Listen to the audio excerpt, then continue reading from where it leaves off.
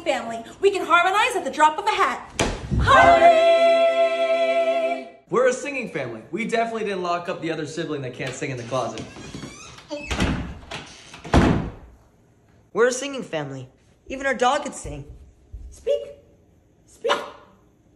We're a singing family, and our neighbors are so lucky I serenade them every morning. Hello, neighbor! Be quiet! See you, John. We're a singing family. We never really had a choice on whether we wanted to sing or not. When we were younger, our parents forced us. No, to- don't talk about that. Why? Because don't you want to eat tonight? Oh, yeah.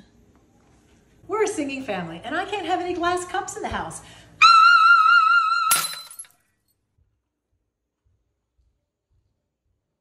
We're a singing family.